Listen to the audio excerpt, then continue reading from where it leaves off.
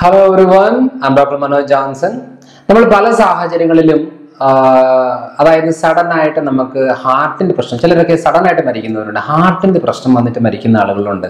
അപ്പൊ ഇതിനകത്ത് എന്താണ് സംഭവിക്കുന്നത്? കാരണം ബ്ലഡ് ടെസ്റ്റുകളെല്ലാം നോർമലാണ് ലിപിഡ് പ്രൊഫൈൽ എടുക്കുമ്പോൾ കൊളസ്ട്രോൾ നോർമലാണ് എൽ ഡി നോർമലാണ് ചിലപ്പോൾ കൊളസ്ട്രോൾ മരുന്ന് എടുക്കുന്നവരായിരിക്കും ചിലപ്പോൾ ബ്ലഡ് തിന്നർ എടുക്കുന്നവരായിരിക്കും ഇക്കോസ്പ്രിൻ പോലത്തെ മരുന്നുകൾ എടുക്കുന്നവരായിരിക്കും. പല രീതിയിൽ നമ്മൾ ബി പിക്ക് മരുന്ന് എടുക്കുന്നവരായിരിക്കും എല്ലാം കറക്റ്റായിട്ട് ചെക്കപ്പ് ചെയ്യുന്നു കറക്റ്റായിട്ട് കാര്യങ്ങളെല്ലാം ചെയ്യുന്നു.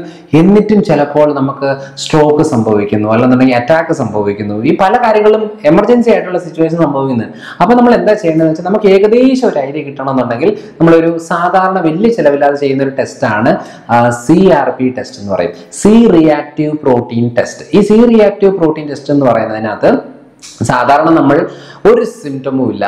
അതായത് നല്ല ആരോഗ്യമുള്ള മനുഷ്യനായിരുന്നു. എന്ത് പറ്റിയെന്ന് അറിയില്ല. നമ്മൾ ഇന്നലെ രാത്രി ഞാൻ സംസാരിച്ചുള്ളൂ. രാവിലെ ആയപ്പോഴത്തേനും ആൾ മരിച്ചുപോയി. ഉറക്കത്തിലായിരുന്നു മരണം. എന്നൊക്കെ പറയുന്ന രീതിയിൽ വരുന്നില്ലേ? അപ്പോൾ നമ്മൾ ചെയ്യേണ്ട കാര്യം ഈ ഹാർട്ടിന്റെ പ്രശ്നങ്ങളിൽ നമ്മൾ ഭൂരിഭാഗ സാഹചര്യങ്ങളിലും നിസ്സാരമായിട്ട് ഒരു ചെറിയ ചില ടെസ്റ്റുകൾ ചെയ്യുമ്പോഴേ മനസ്സിലാവും. അതിനകത്ത് ഒരു പ്രധാനപ്പെട്ട ടെസ്റ്റാണ് സി ആർ പി ടെസ്റ്റ്. ഈ സി ആർ പി ടെസ്റ്റിന്റെ ഒരു പ്രത്യേകതയാണ് ഞാൻ പറഞ്ഞത്. ഇത് ഈ സി ആർ പി ടെസ്റ്റ് എന്ന് പറയുന്നത് സി ആർ പി എന്ന് പറയുന്നത് സി റിയാക്റ്റീവ് പ്രോട്ടീൻ എന്ന് പറയുന്നത് ഈ സി റിയാക്റ്റീവ് പ്രോട്ടീൻ പ്രൊഡ്യൂസ് ചെയ്യുന്നത് ലിവറിലാണ്. എന്തിനാണ് ഇത് പ്രൊഡ്യൂസ് ചെയ്യുന്നത് എന്ന് വെച്ചാൽ ശരീരത്തിൽ എവിടെയെങ്കിലും ഒരു ഇൻഫ്ലമേഷൻസ് ഉണ്ടെങ്കിൽ ഇൻഫെക്ഷൻ ഉണ്ടെന്നുണ്ടെങ്കിൽ വൈറസ് അറ്റാക്ക് ആയിട്ടുണ്ടെന്നുണ്ടെങ്കിൽ ബാക്ടീരിയ റിലേറ്റഡ് ഫംഗൽ റിലേറ്റഡ് ആയിട്ടുള്ള പ്രശ്നങ്ങൾ ഉണ്ടെന്നുണ്ടെങ്കിൽ ഈ നമുക്ക് ഈ പ്രശ്നങ്ങൾ ഉണ്ടാവും ഇതൊക്കെ ഇൻഫെക്ഷ്യസ് ആയിട്ടുള്ള കണ്ടീഷനാണ് ഈ ഇൻഫെക്ഷ്യസ് അല്ലാത്ത കണ്ടീഷൻ എന്ന് പറയുന്നത് ഒരു സിംറ്റമും കാണത്തില്ല ഇൻഫെക്ഷ്യസ് ആണെന്നുണ്ടെങ്കിൽ നമുക്ക് അറ്റ്ലീസ്റ്റ് സിംറ്റമെങ്കിലും കാണും. ചിലപ്പോൾ പനിയായിട്ട് കാണും കഫക്കെട്ട് കാണും ശരീരത്തിൽ കുരുക്കൾ ഉണ്ടാകും അലർജി പ്രശ്നങ്ങൾ കൂടും. അങ്ങനെ പല കാര്യങ്ങളും നമുക്ക് സംഭവിക്കാം. ഇപ്പൊ ടി ബി പോലത്തെ പ്രശ്നങ്ങളൊക്കെ വരുന്ന സാഹചര്യങ്ങളിലും സി സി ആർ പി വളരെ ഹൈ ആയിരിക്കും. അപ്പൊ ആ ഒരു രീതിയിൽ ഇപ്പം കോവിഡ് റിലേറ്റഡ് ആയിട്ടുള്ള കണ്ടീഷൻ വൈറൽ ഇൻഫെക്ഷൻസ് കണ്ടീഷനിൽ ഫംഗൽ റിലേറ്റഡ് കണ്ടീഷൻസിൽ അതേപോലെ പഴുപ്പ് ശരീരത്തിൽ വരുന്നത് കുരുക്കളായിട്ട് വരുന്ന കണ്ടീഷനിലെല്ലാം സി ആർ പി ലെവൽ കുറച്ചുകൂടെ ഹൈ ആയിരിക്കും. പ്രഗ്നൻസി കണ്ടീഷനിലും കുറച്ചുകൂടെ ഹൈ ആയിരിക്കും. അങ്ങനെ പല രീതിയിൽ ഇത് ഹൈ ആവാനുള്ള സാധ്യതയുണ്ട്. അതേപോലെ നമ്മുടെ ന്യൂമോണിയ സാഹചര്യങ്ങളിലും വരാറുണ്ട്. അപ്പൊ അങ്ങനെ വരുന്നു എന്ന് പറഞ്ഞാലും അതിനൊരു ഒരു അളവുണ്ട്. അപ്പൊ ഒരു നോർമലായിട്ട് സത്യം പറഞ്ഞാൽ വണ്ണിന് താഴെയാണ് വരേണ്ടത്. അപ്പൊ വണ്ണിന് താഴെ വരുന്ന സാഹചര്യത്തിൽ ചിലപ്പോൾ അഞ്ചായിരിക്കും പത്തായിരിക്കും അമ്പതായിരിക്കും എഴുപത്തഞ്ചായിരിക്കും അങ്ങനെ പല രീതിയിലുള്ള റീഡിങ്സ് വരാറുണ്ട് പല ഇൻഫ്ലമേഷൻസ് ഇൻഫെക്ഷൻസ് ശരീരത്തിൽ ഉള്ളപ്പോൾ. പക്ഷേ ഒരു പ്രശ്നവും ഇല്ല. എന്നാൽ സി ആർ പി ഹൈ ആണ് എന്നുണ്ടെങ്കിൽ അത് ഹാർട്ട് റിലേറ്റഡ് ആയിട്ടുള്ള ഒരു കണ്ടീഷനാണ് അതായത് ബിലോ വൺ എന്ന് പറയുന്നത് നമുക്ക് കാർഡിയാക് ഹാർട്ട് റിലേറ്റഡ് പ്രോബ്ലംസ് വരാനുള്ള സാധ്യത വളരെ കുറവാണ്.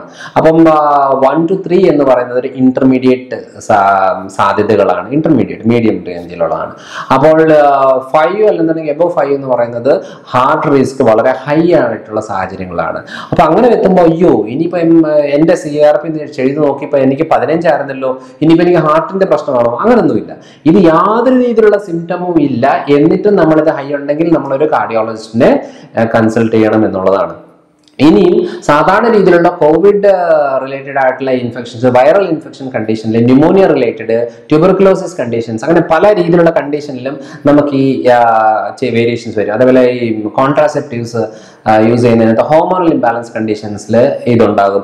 ആർത്രൈറ്റീസ് അതേപോലത്തെ inflammations related joint pains related കണ്ടീഷനിൽ ഇത് ഹൈ ആയിരിക്കും. അപ്പോൾ അങ്ങനെ ഉള്ളത് കൊണ്ട് നമ്മൾ അത് തന്നെയാണ് ഹാർട്ടിന്റെയാണ് പ്രശ്നം എന്ന് പറഞ്ഞ് പേടിക്കേണ്ട ആവശ്യമില്ല. പക്ഷേ ഈ ഒരു സി റിയാക്റ്റീവ് പ്രോട്ടീൻ എന്ന് പറയുന്നത് ഇതൊരു ഡയഗ്നോസിസ് ചെയ്യുന്ന ഒരു സാധനമല്ല. അത് ജസ്റ്റ് ഒരു മാർക്കറാണ് അതേ കാര്യം കറക്റ്റായിട്ട് പോകുന്നില്ല. എന്തോ എവിടെയോ പ്രശ്നമുണ്ട് എന്ന് പറഞ്ഞ് നമ്മളെ കാണിക്കുന്നതാണ്. അത് ഇൻഫെക്ഷൻ ആവാം ഇൻഫ്ലമേഷൻസ് റിലേറ്റഡ് ആയിട്ടുള്ള കാര്യമാവാം ഹോർമോണൽ ഇംബാലൻസ് റിലേറ്റഡ് ആയിട്ടാവാം സ്റ്റൊമക്ക് റിലേറ്റഡ് ആയിട്ടാവാം പല കാര്യങ്ങളും കൊണ്ട് ഈ ഇത് ഈ പ്രശ്നങ്ങൾ ഉണ്ടാവും ഇത് ഒരു പ്രശ്നവും ഇല്ലാതെ നമ്മൾ ഇങ്ങനെ ഒരു സാധാരണ ഇപ്പം പാക്കേജ് ചെയ്യുന്നവരില്ലേ? ബ്ലഡ് ടെസ്റ്റ് ഒരു പാക്കേജ് അങ്ങനെ ചെയ്യുന്നവരിൽ ഇപ്പൊ ഇങ്ങനെ ഒരു വേരിയേഷൻസ് ഉണ്ടെന്നുണ്ടെങ്കിൽ ആ, അവർ മാത്രം ഒരു ഹാർട്ടിന്റെ അതായത് ഹൈ ആണെന്നുണ്ടെങ്കിൽ ഹാർട്ടിന്റെ റിസ്ക് ഹൈ ആകാൻ സാധ്യത ഉള്ളത് കൊണ്ട് ശ്രദ്ധിക്കണം എന്നുള്ളതാണ്. അതുകൊണ്ട് സി ആർ പി ടെസ്റ്റ് എന്ന് പറയുന്നത് വളരെ ഇമ്പോർട്ടന്റ് ആയിട്ടുള്ള ടെസ്റ്റാണ് ആ ഒരു ടെസ്റ്റിന്റെ പ്രത്യേകത എന്ന് പറയുന്നത് നമുക്ക് ഇൻഫ്ലമേഷൻ കണ്ടീഷനും ഹാർട്ട് റിലേറ്റഡ് കണ്ടീഷനും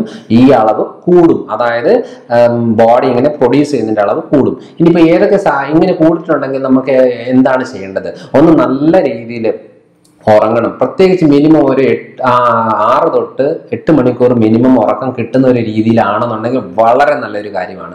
ഇനി രണ്ടാമത്തെ കാര്യം എന്ന് പറയുന്നത് പ്രോപ്പറായിട്ടുള്ള എക്സസൈസ് വേണം. നമ്മുടെ ശരീരത്തിൽ സ്ട്രെസ് ഹോർമോണിന്റെ അളവ് കുറയാനും ബ്ലഡ് സർക്കുലേഷൻ കൂടാനുമായിട്ട് സഹ- സഹായിക്കുകയാണെന്നുണ്ടെങ്കിൽ നമ്മുടെ ബോഡിയുടെ ഇമ്മ്യൂണിറ്റി ലെവലിലെ ഇത് കൂടാൻ ഹെൽപ്പ് ചെയ്യുന്നതാണ്. അപ്പോൾ അതിന്റെ ഭാഗമായിട്ട് നമുക്ക് ഈ ഇൻഫെക്ഷ്യസ് ആയിട്ടുള്ള കണ്ടീഷൻ അളവ് കുറയാനും സാധിക്കും. മൂന്നാമത്തെ കാര്യം എന്ന് പറയുന്നത് നന്നായിട്ട് വെള്ളം കുടിക്കുക എന്നുള്ളതാണ്.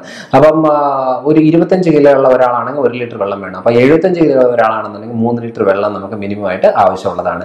ഇനി മെയിൻ ആയിട്ടുള്ള കാര്യം എന്ന് പറയുന്നത് വൈറ്റമിൻ സി ഉള്ള ഭക്ഷണങ്ങൾ കൂടുതലായിട്ട് എടുക്കുക. വൈറ്റമിൻ സി എന്ന് പറയുന്നത് നമുക്ക് അറിയാം എല്ലാവർക്കും.